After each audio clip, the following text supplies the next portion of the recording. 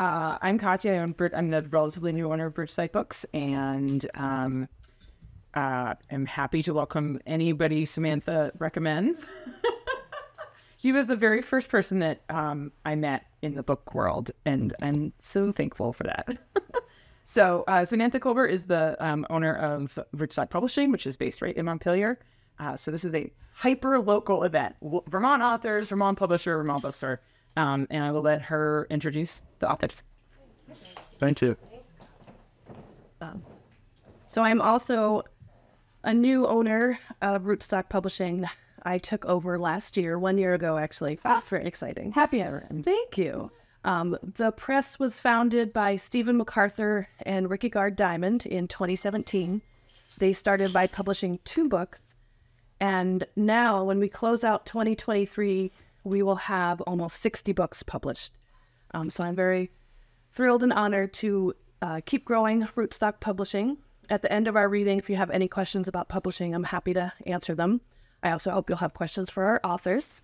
Um, as Katya said, these are three Vermont authors. They've all published their books um, this summer and fall. We have a July date, October date, oh, excuse me, September date and October date. So these are all um, recently new. Um, super new is the reason to run, which we're, we'll hear from first. Um, so maybe I'll just go right into my book intros. And I want to thank Orca Media for filming today. Um, we are being filmed, um, just to let you know. Um, and then if you want your face on camera or not, you'll have to be aware. So first, as I said, we'll hear from Mike Magluilo. He'll be reading from his debut novel, A Reason to Run, which Kirkus Reviews calls a gripping, highly nostalgic dive into a decade and a high school sport. And um, I'll, it's not a spoiler alert, but I'll let you know the decade is the 1980s. So it's really fun um, getting to relive. The, there's a lot of music, there's a lot of pop stars from that era mentioned, and so that's it is a, a fun, uh, nostalgic dive. Mike Magluilo is a writer and recovering finance professional, father of three, and husband of one. His work has appeared in Zigzag Lit Mag, Cold Lake Anthology, and Flash Fiction Magazine, where his story The Golden Boy took first prize in its 2023 Summer Writing Contest. He lives in the Middlebury area, and um, his one of his inspirations for writing this book was to share life lessons with his young sons, who, it turns out, Mike says, enjoys story. They enjoy stories more than speeches. So please help me welcome with his story, Lake Magluilo. Great to be here. Thanks. And uh, I just want to thank Bridgeside Books for uh, putting this on. Um, they uh, they're doing so much great things to uh, make coming into the bookstore relevant and so much more satisfying than going online to buy your book. So thanks for uh, thanks for being a great example of a local bookstore. Um, yeah, as Samantha said, uh, Mike Magluilo. I live in Cornwall, Vermont, with my family. Uh, I write long and short fiction about growing up.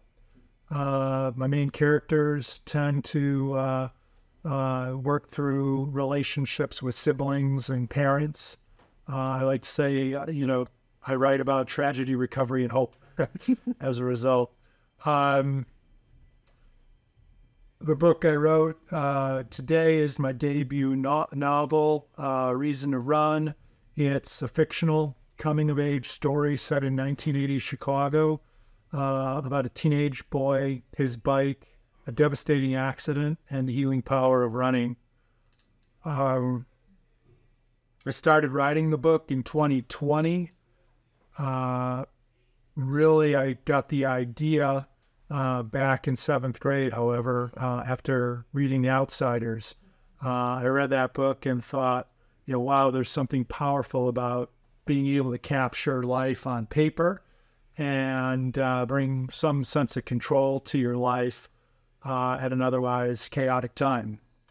Um, I, uh, so, I, um, I am originally from Chicago, hence the uh, the setting for the book. Um, but as of this past weekend, I do consider myself a Vermont author. Um, anyone curious as to why? Sure. Um, well, uh, on our way to my launch party this past weekend, uh, I made my family stop at the town dump to drop off our garbage. Uh, and I am pretty sure that doesn't happen to authors outside of the Playville State Mill.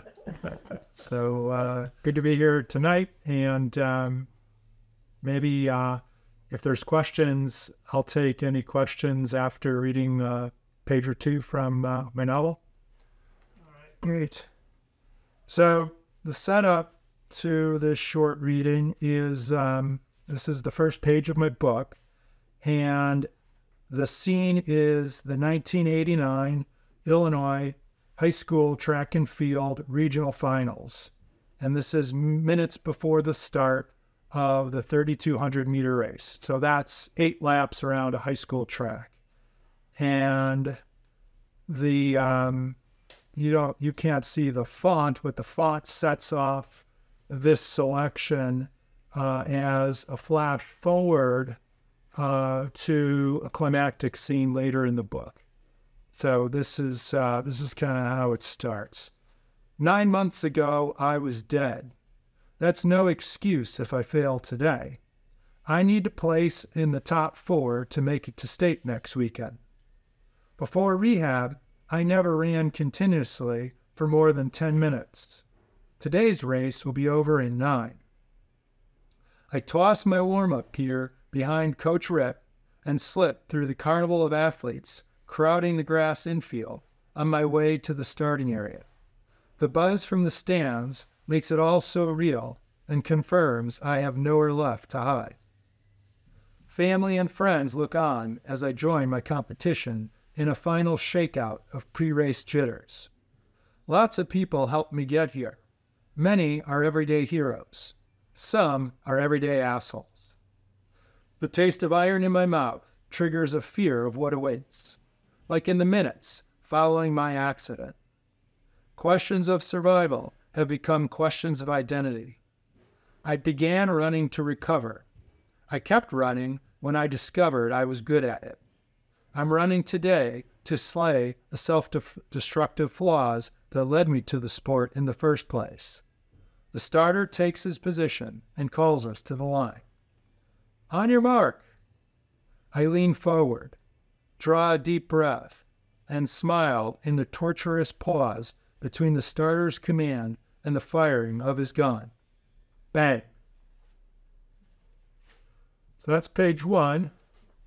Um, how are we doing on time? Should I read another page? Ten more minutes, and I think we should um hold all questions until the end. Oh, okay. Go read it, you know. Sure. I'll read one more short excerpt. Um, it'll just take a minute. This um, is uh, you know, maybe a quarter of the way into the book, and it's the introduction of one of my favorite characters to write. Uh, I think I'll just let it speak for itself. Uh, so here it goes. The background noise in my head has tormented me since childhood. An inability to ignore my thoughts kept me awake at sleepovers long after the lights went out, and my wandering mind earned me a slow learner badge and that seat in Sister Kenneth Agnes's remedial reading class in grade school. At some point, in an effort to manage my restless mind, I created an alter ego and called him Bad Gorilla, a phonetic play on my last name. The main character's name is Sam Bagliarello. So Bad Gorilla. I feed Bad Gorilla all my negative thoughts worry, fear, insecurity, anger, envy, you name it. While this helps quiet the chaos in my head, now and then Bad Gorilla busts out of his cage, foaming with all the negative energy I've sent his way, and forces me to grapple with him on the wrestling mat of my mind.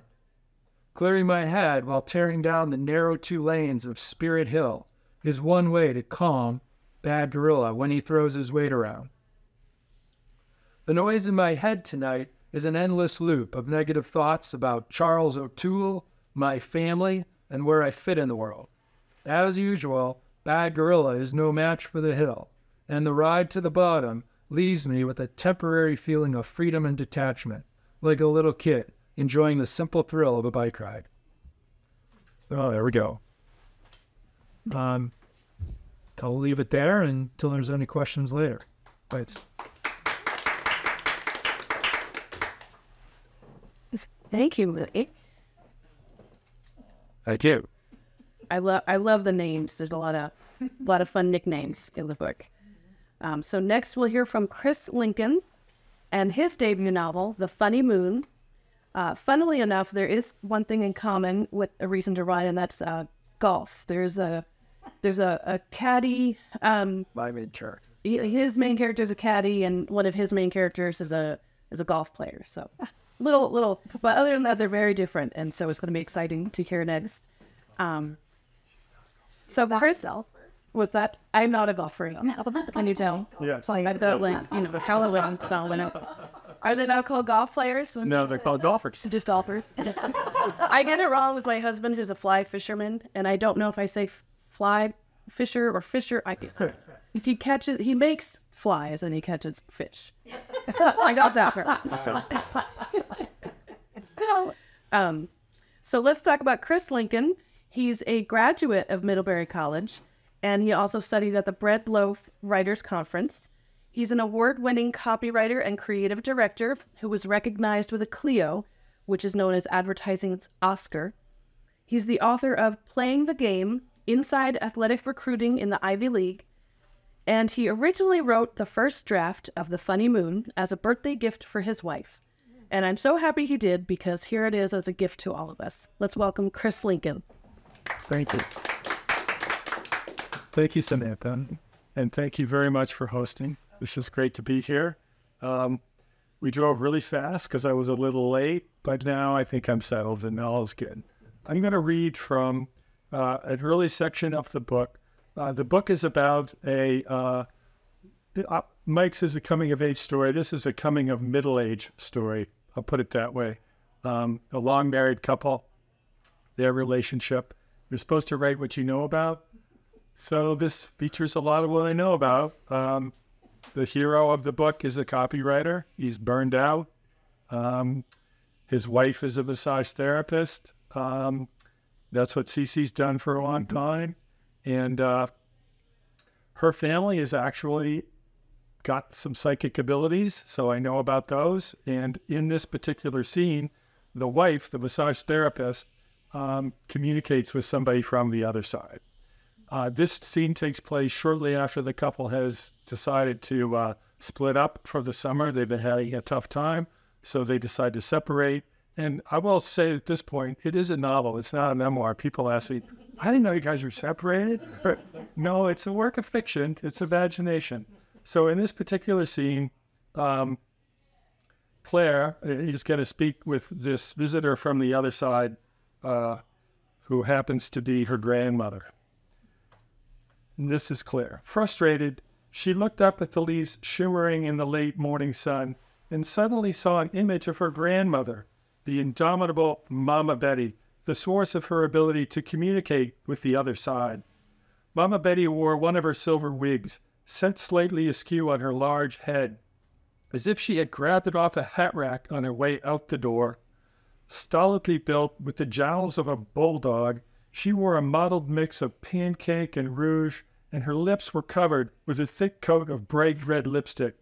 Behind her cat eye glasses, her deep brown eyes smiled at Claire.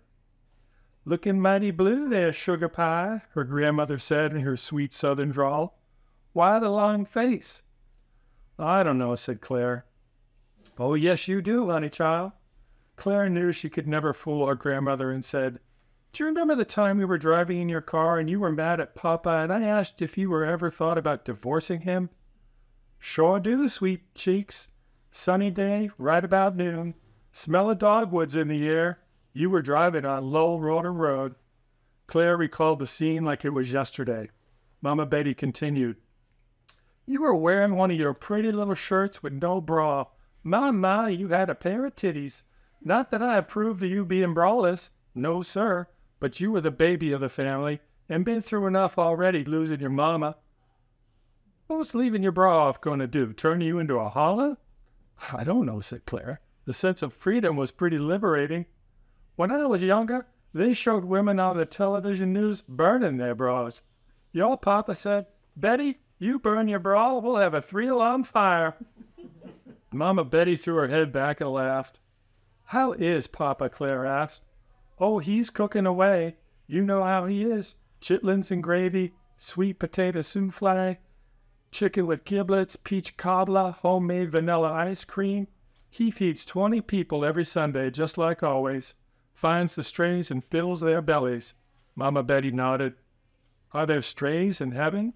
asked Claire. Oh, there's strays everywhere, Sugar Pie. Not everyone has a big happy family.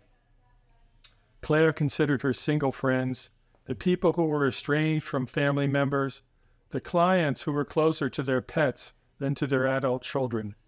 She thought of Wally and said, I've been thinking a lot about what you said about Papa that day in the car. Oh, I remember, Mama Betty said and pointed a finger at the sky. Divorce, never? Murder, yes. Did you really need it? Oh, yeah. Would have killed him, given him mouth to mouth, and killed him again if I could. That man would drive me so crazy I could plead insanity and win. Well, Wally's driving me crazy too. Would have poisoned Papa's food, but he did all the cooking. I don't cook much either, said Clara, thinking about how she would miss Wally's dinners. These days, women can leave a marriage just like that. Mama Betty snapped her fingers. Wasn't like that in my day. No, sir, you had to work at marriage. It was for life. Well, it shouldn't be a life sentence. Fair enough, honey child. That Wally, he's going through his trials no matter what you do. Besides, you know what they say. You want to change someone? Change yourself.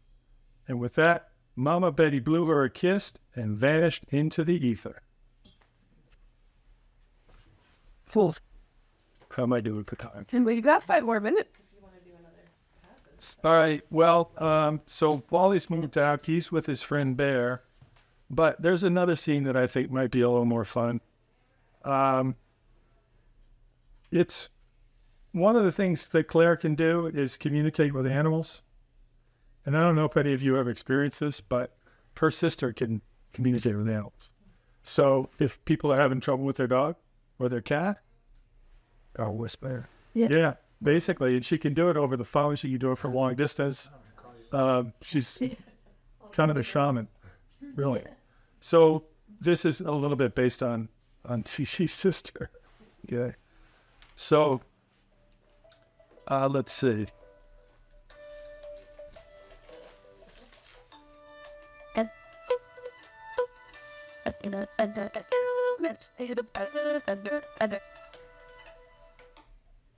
Okay.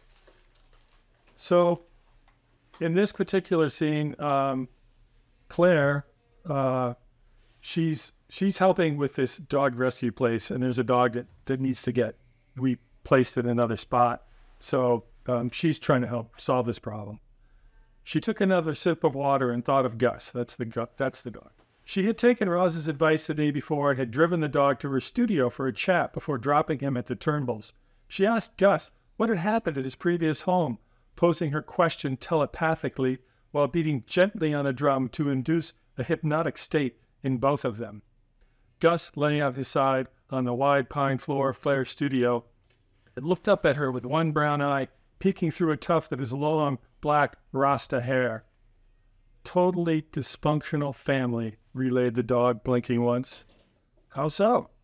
They had a boy and a girl, both addicted to their screens. Video games, texting, social media.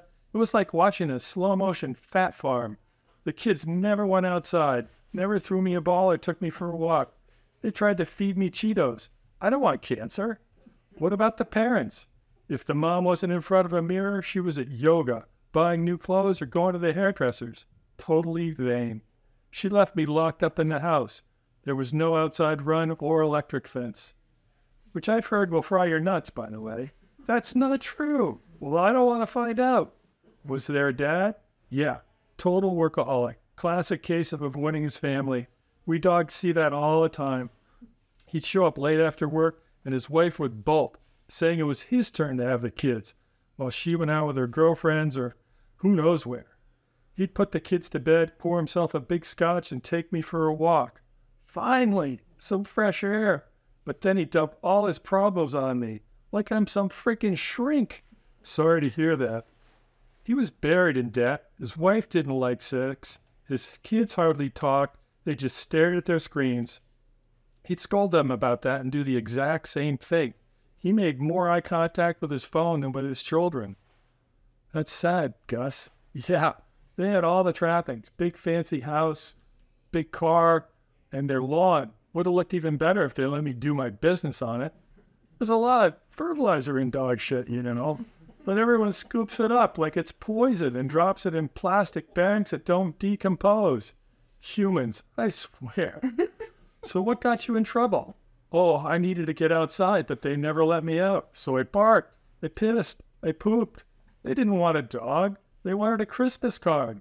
Happy family in front of the roaring fire with faithful Gus, the imprisoned dog. Fuck that. I'd rather be the main course at a Chinese restaurant. Gus, cancel that. It's true. Give me liberty or give me death.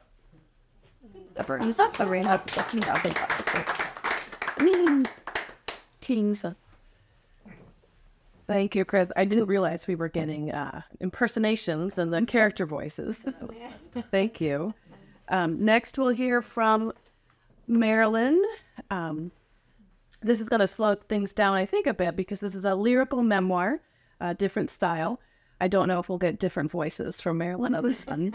Um, it's a lovely memoir called Attic of Dreams by Marilyn Webb Neagley. Uh, Bill Schubart, the author of Lamoille Stories and other novels, calls this memoir a very compelling memoir written in a unique style that covers Neagley's fascinating life. Marilyn served as president of Shelburne Farms from 1976 to 1988. She is the author of two previous books and co editor of another. Her 2007 book, Walking Through the Seasons, received an IPPY Gold Medal for Best Northeastern Fiction Nonfiction. Excuse me. She has been a Vermont Public Radio commentator and has written essays for her local newspaper. Uh, raised in Ascutney, Vermont, she currently lives with her husband in Shelburne. Please welcome Marilyn Webb Neagley. No. Uh, thank you very much for the introduction and for arranging this and for Bridgeside Bookstore for letting us be here. It's a wonderful opportunity for us to be here. Um, it could be said that writing my memoir began about 40 years ago. Uh, when I when I recorded memories of my childhood on index cards, that was before we had computers in everyone's homes. Uh, but I, ne- I never found the courage to write it until my husband Mark and I invited a foster child to live with us for about three months. It wasn't a long term thing. It was just giving respite to the home that she was in because the people were not getting along. And her mother, like mine, suffered from alcoholism. And uh, so I took her to Al Anon and AA meetings. And there, well, we saw people telling their stories that were untrained speakers. They were just regular human beings and telling their stories. And one man in particular was sobbing at the fact that he had let his children down so many times. And he, he went through the list of Memorial Day and Fourth of July and Thanksgiving and Christmas and how he described their faces looking up at him in their disappointment. And there was something about that moment that gave me the courage to then think about writing my story, even though I didn't start for several more years because I just didn't have time to focus on it. And um, but what happened in that moment and with that story was it told us that it wasn't because of us that our mothers were alcoholics. It was that they couldn't help it, that they were sick. And so um, that was, that just, you know, made me realize that every single person, everybody has a story. And I've come to believe also that everyone should tell their stories, especially around the kitchen table or write them in journals or whatever, because stories are one of the things that really bind us together as a society. And we're becoming more and more separated and generationally more and more separated. So I'm just making a plea for storytelling. Um, so Attic of Dreams is written in three parts. It's the first part of my life, the middle, which is the career phase. That's the Shelburne Farms part of it mainly. And then there's the the part I'm in now, which is a very short part of the memoir, but um, it's about it deals with the aging process a bit. Um, the reader, reader will notice that there's a change in voice from a child's voice, a simpler language in the beginning of the book, and then it becomes a, a little more developed and more complex as we go along. And short chapters in the book are written as vignettes. And I came to, to realize that when you remember something, just picture sometime when you picked strawberries or apples or something, and you go into your memory bank, you kind of see it almost as though you're looking through a telescope. It's almost a shape, like a round shape. And I just realized that really vignettes are more the way we remember. We don't remember in whole episodes, we remember scenes. And so that's how it was written. But there are other reasons why I did short chapters, which I won't go into right now. Um, so my story begins in the village of Ascutney, Vermont, where my parents uh, had a restaurant, and it was a lively night spot called the Top Hat. But at home, we just referred to it as the club. I think that's because when they bought it, it was called the Casa Club, and they just kept that name. Um, so, because um, those earlier memories that I had recorded about my childhood were there, I began to assemble them as time went by created a timeline first, but then I assembled them the way one might create a quilt out of scraps and bits and pieces. And then together, you know, when you finally put it all together, something happens. So I will now just read a few short chap, not chapters, but I won't read all of them. Uh, some of them will, I'll read the entire chapter in the beginning because it's so short, and then the others will be excerpts. The first chapter is called Spring Peepers, and you can see how short it is. and also, attention spans are shorter now, so that's another reason why short chapters. um, I'm five. It's my bedtime, but mom and dad want to take me for a walk. They say the restaurant isn't busy, so they can leave for a while. We cross Route 5 and turn toward a dirt road that has no name and no lights. The road is wet and spongy, the air is full of steam. My whole world seems soft and safe. Listen for the spring peepers, they whisper. At first, I hear nothing. Then, as we near a pond, I shout, I hear them! I hear the peepers! We stop to listen. My parents' quiet sounds tell me they are smiling. I inhale their happiness with one big breath. We walk a mile or so, hand in hand. It's dark. Even the stars are hidden, but I feel safe and happy. We turn toward home. There again, there ahead, I'm sorry, I see our restaurant's neon lights. A mist has lifted their red glow to warm the blackened sky. So, um, I'm only reading from part one because I don't want to give the whole story. So to this is just to give a sense of the restaurant, this lively nightclub. It was it's really a restaurant that had, you know, a five piece band on weekends and that kind of thing, playing jazz. The club is a buzz. Customers are pouring in, dressed dressed in their best clothes. The dance floor shimmers with color as the band begins to play. Now that everyone has arrived, I sit near mom to watch the show. An MC steps up to the mic. He tells off color jokes. One of the waitresses covers my ears before each punchline. That embarrasses me, but for only a minute. There are so many other things to think about. The magician confuses everyone with his tricks. The fancy dancers finally appear.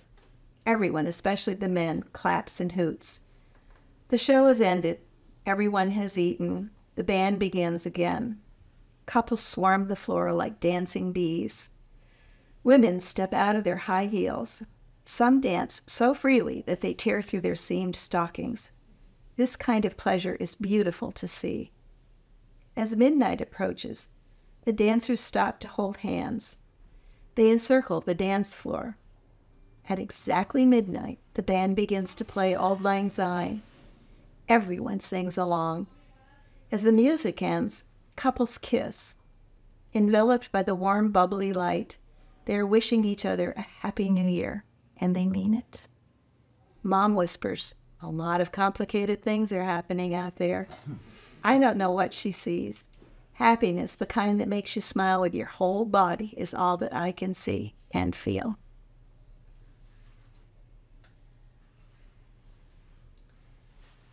And this one is darker. Um, but I want everybody to understand that I felt like I had a really good childhood, even though there were sad and imperfect parts to it. Somehow there was a richness because of all the people in my life. Dad had made a long rope swing for me behind the club. I find myself standing there next to a clump of sumacs. Time slows. I, bear, I blindly stare toward the neighbor's dairy barn below. My hand reaches for a sumac branch. I shave its leaves with one downward movement. The leaves gather into my hand. I let go. They fall somewhere. I sense a shadow. My quiet Russian grandfather is standing next to me. He has come from Springfield with Grammy. She must be tending to Mom. Tears stream down Grampy's rugged cheeks and jawbone. His lips quiver against his against the ruthlessness of grief. What has become of his beautiful daughter? He says nothing. He does nothing. He simply stands there trying not to sob. I look over my shoulder toward the house. Mom is being lifted into an ambulance. She is lying on a gurney in a straitjacket. Dad tells me that she is going to Waterbury, the state mental hospital. I don't know what that means. I'm simply relieved that others are helping us. Mom will come home in two and a half months near the end of summer vacation as I enter eighth grade. I sometimes wonder why no adult ever holds and reassures me with everything will be all right. Although my grandfather did stand with me, he offered all that he had in that moment his presence and his own vulnerability.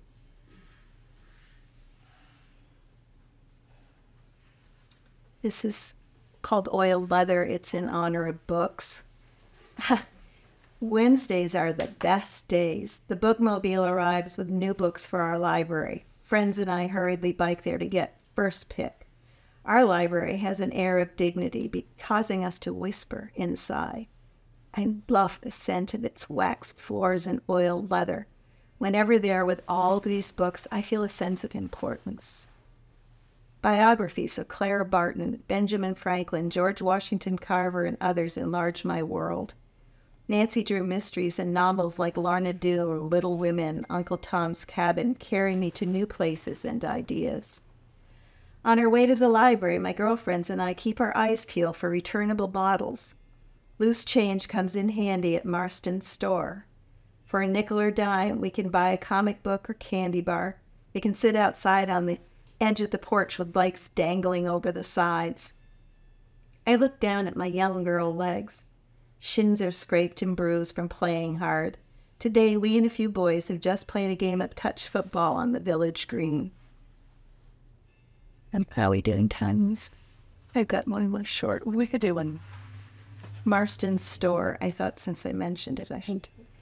After climbing several steps to a broad porch, I entered Marston's store. I enter Marston's store through a large screen door, stepping inside onto wide, unfinished floorboards. I'm greeted by a mixed aroma of canned coffee and spoiling vegetables. A white cat is sleeping inside the glass candy case. Granny Marston is also napping behind the wood stove. When up and about, she fusses with the merchandise, slowly moving from here to there. Her figure is slim and stooped. Her white hair is drawn back in a knot. Rimless eyeglasses slip down on her nose. Her son is seated in the far corner wearing a green visor and glasses. He's sorting and placing mail in postal boxes. The black and brass postal boxes are the fanciest part of the store. I once paid Granny Marston a dime for a comic book, classic comic book. Halfway home, I remembered that classic comic books cost 25 cents. I turned back to give her the extra 15 cents. She wasn't known for her friendliness. But with a slight smile, she handed me a small paper bag and said, Choose any candy you want. It's safe to say that we young people regard this old general store as the heart of our village.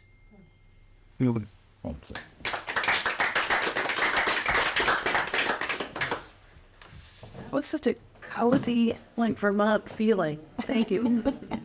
um, we've heard from our authors, and we were going to do like a Q and A if anybody has any. Um, we can also do book signing, and I also have a, a few prizes for the audience. I don't know if I should do it that if you ask a question, you get a prize, or answer a question, you get a prize. What do we think? That's the best question. Maybe we'll do it that way. If you ask a question, you'll get a prize. I have uh, t-shirts. They have a uh, little, oops, something in my bag. A little publish indie t-shirt. This is from IngramSpark, which is what we use to publish our. Uh, they're called POD books or print on demand. So t-shirts as a prize, and then I brought uh, excuse me, two books that are ARCs, uh, known in the business as advanced reader copies. Um, this is by Nancy Stone. She's from Williston, and this is a book of poetry and art. And this is by Michael Pavarnik. This is true crime. Uh, Michael Pavarnik is a retired DEA agent from Worcester, Mass. And so this is about a 1994 drug case that he worked on for a year that really cleaned up that town. So two arcs or T-shirts for uh, prizes. You'll get to pick one that you'll want. Um, so it's open for questions. Ask a question, get a prize. I like. My question for all of the audience would be I, I once saw Pat Conroy in uh, Miami Beach and talked with him, and I said, How much of your story is true? And he said, 125%. he said, All my stories were true, and I had to weed it down because it was so unbelievable. So I always ask authors, How much of your story comes from true life, do you think? What percentage of your stories comes from true life? Do you want to start? Because yours is prime. It's entirely memoirs. Totally everything. I bet over back. I mean, Yeah. one of the rules of writing memoir is to tell the truth. Right. So it's my truth. And, you know, people remember things differently. If I had siblings, which I don't. Right. Your sister would say, it's me. I would say, your sister would say 75%. Exactly. So I just say it's my truth, but I really have worked hard at honesty. And mm. okay. So, Wally, who's the character that Claire's all upset about, is an aspiring writer, and he does write. And at one point, he's in an interview situation. He's asked the same thing: "How much of this is you?" And he says, "Well, it's actually uh, what I do is I lie to tell the truth. when you're a fiction writer, you're making stuff up, but it has to be true. If it doesn't reveal truths, if it doesn't share insights, if it doesn't capture emotions, it's not going to resonate with the reader. So that would be my answer. It's it's all true, but it's also made up. Yeah, yeah, I'd answer it slightly differently. I, I, I consistently, but differently. Uh, in my case, a lot of it's true, but it's exaggerated. You know, the, you know, writing your first novel, writing one that takes place in a fictionalized version of my hometown, um, the the inner internal narration of my character, very much on point with how I perceived, how I remember I perceived life as a 17, 8 year old kid, 17, 18 year old kid. Um, but also kind of a range around that, you know, from probably middle school through college, you know, and that, it, that feeds into the internal narration, but again, exaggerated to make it more interesting as a, a work of fiction. Um, but then the events in the book, um, in my case, you know, a teenage boy who discovers an exceptional talent for running after a tragic accident on his bike. Um, that part of it's all fictionalized. yeah, to make it. No, I'm a, I'm a, I like running, um, and that's why I wrote a story, a love letter, in a sense, to running. But uh, as opposed to my character as talent, I, I end up uh, kind of bringing up the rear uh, in most group runs. Um, but you know, a lot of the scenes are based on my experience riding bikes, running, swimming, um, that sort of thing. So it's you know, like I said, it's it's inspired by real life, exaggerated. Great question. Great question. What would you like? To use that workbook? Oh, uh, the haiku book sounded interesting. This word. This one, actually, the release date was yesterday. So that's Oh, rad. wow. As well. Okay, great. Yeah, thank you. Oh, be not need fries. Oh, you know, T-shirt ready. I think so. Plenty of marks. Um, I was in Free Maryland. Uh, what was it like to be writing your about your life, knowing people you knew would be reading it? I'm always Oh, curious that's a about good that. Like, were there things you were like, "Ooh, do I really want so and so to know this?" Or were you just like, "I'm just going to put it out there"? That's a very most difficult part. But my parents are no longer living, so they're the main characters. It's so much of the early life. And I did reach a point where I got so nervous about I've been married three times, which is what I think is part of partly because I lived in an alcoholic household.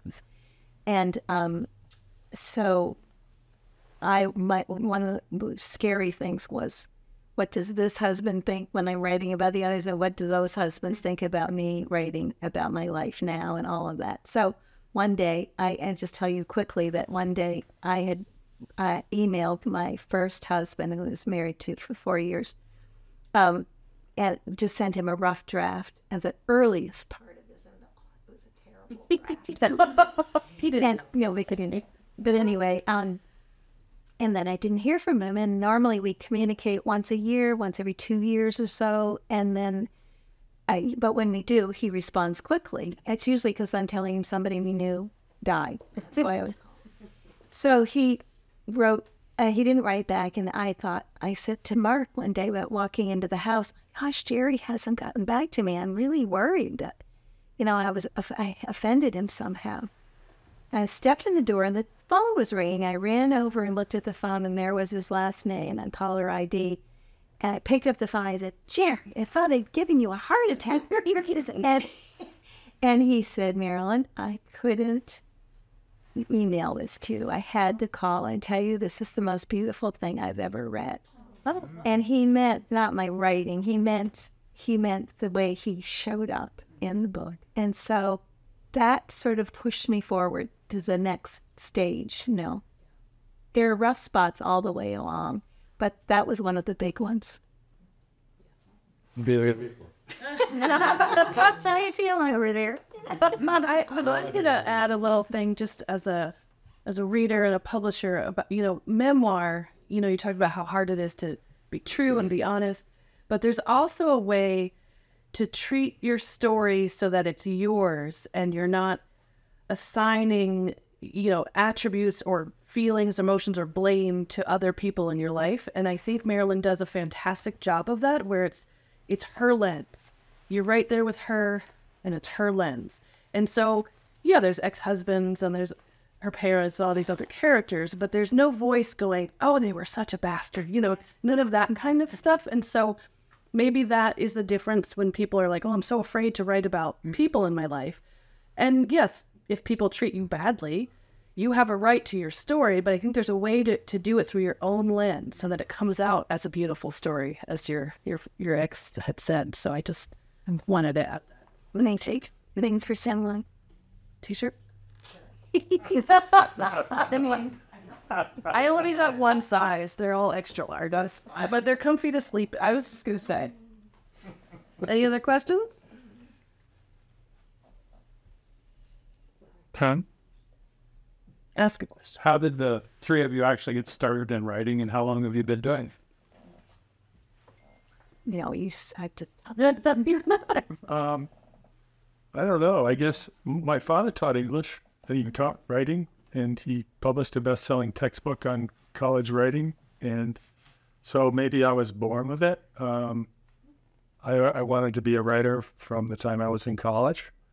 Um, I worked as a journalist for a while. Then I worked in the advertising business for a very long time, writing copy, um, short copy, long copy, all kinds of it.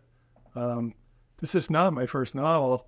It's my first published novel, but it's my fifth novel that I've written. Um, and so I've been a writer for my whole life. And I sold an option to the movies on another novel that was never published, and the movie was never made, which is usually what happens. Uh, so it's just been what I like to do and have done it, you know, all the way through. And then I did publish a nonfiction book 20 years ago. But nonfiction didn't really, it wasn't going to be my thing. Uh, I mean, I could have published many other nonfiction books, but it just didn't excite me the way the challenge of writing fiction does. So it's a process, uh, as Cece knows, that's, you know, can be pretty all consuming when you're in the midst, midst of it and you kind of go into your own world. And I'm perfectly happy there. I'm happy that he's there. Makes your life easier. That's right. Uh, in my case, um, I guess to expand upon what I was saying earlier about um, being inspired to write after reading The Outsiders in seventh grade, I wrote through high school, including being on the school newspaper. And then when it came time to choose a major and a career, I passed on the creative arts and chased the paycheck. And put to the side this dream of writing a novel. Uh, but every couple years, I'd sketch out a scene or a character or send myself an email with a snippet of dialogue. But then, you know, you get off a plane and family and work and life would kind of collide with self doubt and I'd file it all away. Hmm. But then 2020 arrived and we all remember that shit show. and I spent the summer on my front porch taking Zoom meetings while my two sons, who at the time were seven and nine, spent the summer literally beating the tar out of each other in the front yard. I'm like, you know, I'm gonna write these guys a letter. and it was a love letter about growing up. And later that year, I decided, you know what, I'm not, I have no interest in returning to a career that requires me to travel three, four days a week. And that letter snowballed into what became a story, a reason to run. And the more I worked at it, uh, the longer it got. The writing became more fictional, but the words became more heartfelt and honest. Uh, and so that uh, that's how I got into writing, if you will. Was I rediscovered it three years ago. Very good. I, I would say I like the name, the title, "A Reason to Run," because it makes you want to read the book to find out the reason. you know, so that was a clever title, I think. Thanks. You know what? 80s and from the font. The little the racing stripes. Mm-hmm. Yeah, mm-hmm. that's really Like a hack seat. Yeah. Did you want to mention about well your writing career? How Yeah, I, I well, I had to write quite a bit during my job when I was president of Shelburne Farms. I was doing newsletters and essays and that sort of thing, and um, and then uh, when I when my children left home, I just I remember there was one day when I was driving through Lincoln Gap, and the river was rushing, it was March, and I was thinking about how everything is about water, and you know, it's the sap in the trees and this and that, and I got really excited about water, and I ran home and wrote a little short piece about March and the waters, and then um, I submitted it to the local newspaper, and actually, my first book, Walking Through the Seasons, was a compilation of all of those nature columns that I sent to the town newspaper, and that's one thing led to another, and it got that little gold medal, and so it encouraged me to keep going with writing. That's basically it. I didn't have the kind of background. Yeah, but yeah, like you said, I I mm-hmm. truly believe this. Also, we all have a story to tell, mm-hmm. and whether you've been writing your whole life or you start a few years ago, mm-hmm. you know, you get it out there, and it is a craft. You can perfect it, right? You keep doing it. Reading a lot is also a way to perfect your your craft because you're taking in words and voices and writing styles and the craft, so it helps you to to put that out too. You get a prize. T-shirt or the true crime. Yeah. So they knew that. It's truly fascinating. I, I, I learned a lot. Um, You learned how or no, I learned a lot, I learned a lot about, about um, the hiding places that drug use or drug dealers use in the cars. No, it's it's a whole there's a whole cast of characters. We had to make a chart. We had to make a map. I mean, you're like in it. You're like you're in the the drug deals. there is a deal. It's intense, and it spans. He travels to, so he's in Worcester, Mass, but he ended up going to Puerto Rico. He ends up, I think, out in L.A. He's in Brooklyn. Like there, there were so many moving parts to this one case, and it turned out that Worcester, Massachusetts, was like the biggest heroin trafficking town of the whole Eastern Seaboard. And you're like, Worcester, man, this is a tiny little New England town. So it's it's pretty fascinating. Thank you. Questions, or maybe we'll do book signings. If if anybody would like to get a book, please support Bridgeside Books. And and oh yeah, Writing. But when your last name is Webb, are you my and then you're are you part of the Shelburne Webbs? Or right, I was. Oh, you my middle name. I Marilyn Webb Neagley. My last name now is Neagley, but it's the same same, family. That's why. That's interesting. Yeah. yeah, cool. The connections there, which um, so when you get to it in the book, it'll make sense. okay. Fantastic. well, thank you. Thank you all. Thank you for coming.